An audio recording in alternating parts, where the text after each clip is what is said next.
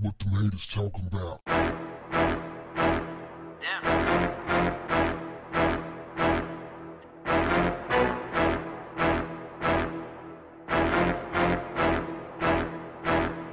What's up, family?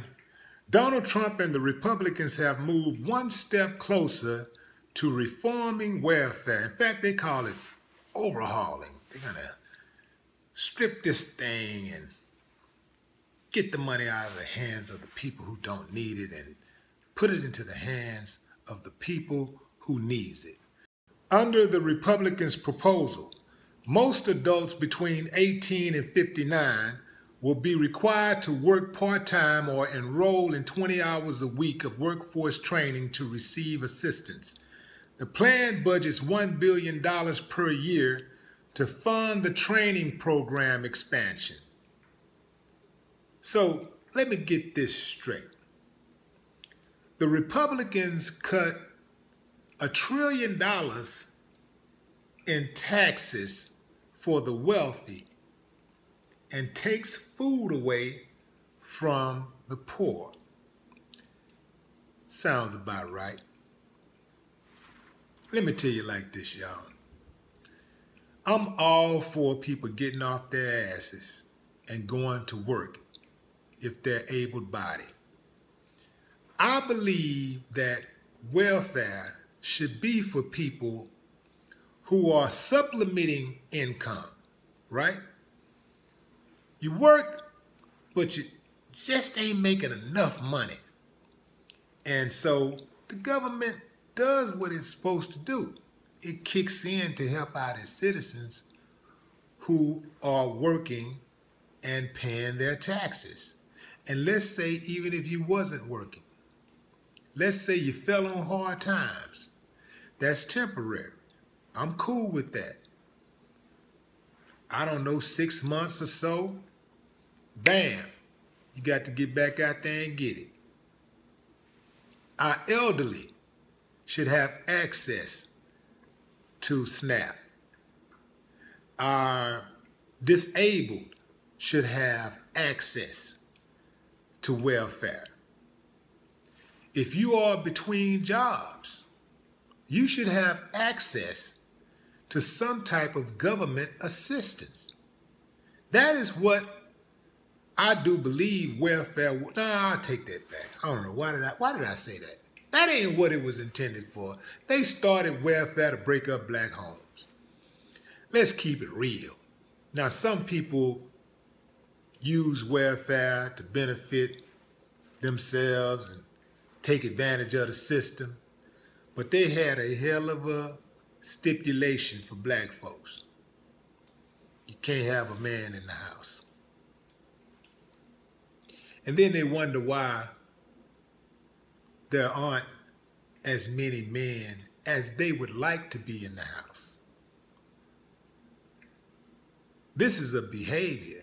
This is part of the conditioning process that they started.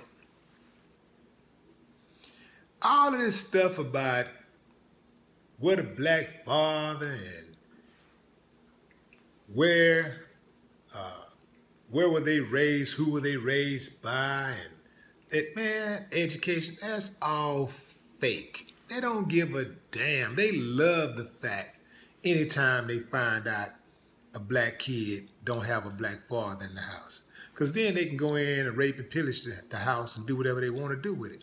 And then they also know that that boy is more than likely, or that girl more than likely, is going to be uh, raised in the wrong manner because that daddy role is very, very important. They know this, especially with the young men. They know. So they actually like it. These people in law enforcement and court systems and politicians and stuff, man, they love it. They love it when black men are not in the home. That's why I, am defiant with their asses. I'm with mine. I'm stay. I stay close to mine all the time. But let's get back to Donald Trump and his welfare program. Now, he's acting like he wants to overhaul welfare because he cares about Americans and he wants to put America back to work and have it only for the people who really, really need it. This is the same dude who says, gimme, gimme, gimme, gimme, gimme. But for the people that need it the most, he tries to take whatever little crumbs that they're already receiving. He wants to take that away. But he's always looking for a break for him and his buddies. This is what rich people do. They're always looking for a break, always looking for the shortcut, always trying to get uh, financial favors, breaks from the government. But they want everybody else to pull their weight. They want everybody else to pull themselves up by the bootstraps. Here's another one. We need to test them for drugs before we give them any assistance. I don't want my tax dollars going to somebody getting high and getting drunk. Man, let me tell you something. The population that receives welfare is actually less likely to do illegal drugs than the general population. You know why? Because they ain't got the damn money. They just don't. And let me tell you something too. Most people that I know that got money do drugs. So let's stop this trying to stereotype poor people as a bunch of just poor junkies. I'm going to say it again. Most of the people that I know that have money do drugs. So what you supposed to be better because you dress nicer or you live in a nicer house? You know, you eat at fine restaurants because you get high in big office buildings instead of, you know, in, in, in a trap house. You supposed to be better? Come on, man. We got to kill that.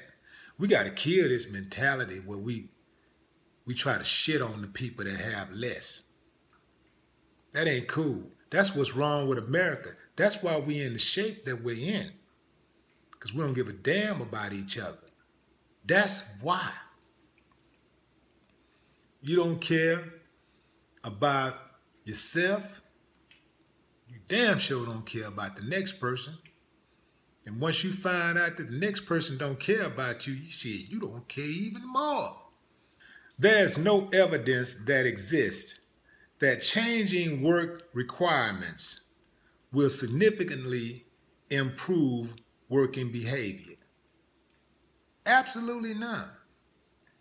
There is no evidence out there that shows testing people for drugs, testing the poor for drugs, is somehow going to boost the economy. None.